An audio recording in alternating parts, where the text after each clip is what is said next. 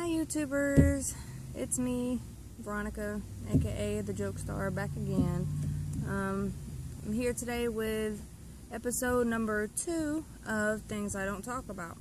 And today's title is Adoption and Where's My Brother? Um, I'm really needing help with this video. If y'all could please like, share, comment, um, especially hit that share button because I'm hoping one day that maybe it will find him and we can reunite. And I would love to meet him, see how he's doing. Um, like I said, he was, uh, well, I haven't said yet, but um, he was given up for adoption. And I was about four years old, so I don't think I met him or, you know, even back then, I don't think I met him or seen him or anything. But I'm going to give y'all a little bit of information about him, and I'm hoping that one day this video will find him, so please share. Um, let's see. His name is Matthew McGuire.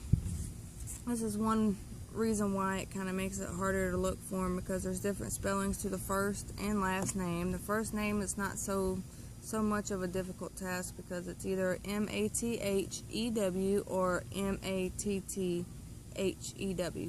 But the McGuire part, I have found probably a good maybe six different ways to spell it. Maybe give or take. I could be exaggerating a little bit. But there's several ways to spell it. And if you don't spell it right, then you're not finding the right person, obviously. Uh, his birthday is July 8th, 1986. And he was born in Dothan, Alabama at Flowers Hospital. His parents' names are believed to be Pat and John McGuire. Um, they lived in New York, and my mother, she had told me when I was younger what part of New York, and it seems like it was maybe Little Rock. I'm not sure, so don't quote me on that. But I don't remember exactly uh, where in New York she said that his parents lived. I do have some adoption papers, but everything's X'd out and you can't see anything. And the county that it shows is the county that the attorney was in, I'm assuming. And the attorney that was used, his name is Aaron Britvan. Now, anybody in New York that's seeing this video, I'm pretty sure that you have heard of this attorney because he's, from what my understanding is, he's very, very well known. The adoption, it was supposed to be an open adoption, but somehow it got closed. Now, I know my mom would call and see how he was doing. Now, this is back when he was still a newborn, maybe up to a year old or so, I guess. I guess he could talk a little bit because I kind of remember her telling me, you know, that he just goos and gaws on the phone. But she would call and ask, you know, how he was doing and everything, and they were supposed to send her pictures, and, you know, and I don't think she ever received any pictures. Um, matter of fact, the only picture I know that she's ever had is the picture from in the hospital, which I will be sharing at the beginning and the end of this video with the information that I'm also telling y'all. So, um,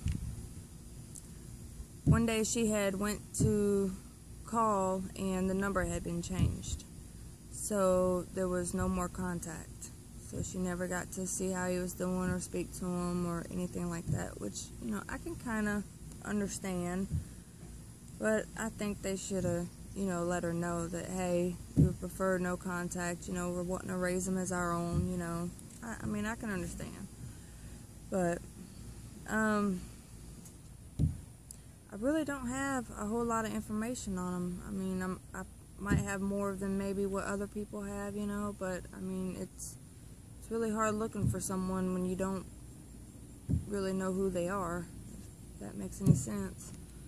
But if you could please like and share this video, especially share it. Um, I'm really needing help trying to find them.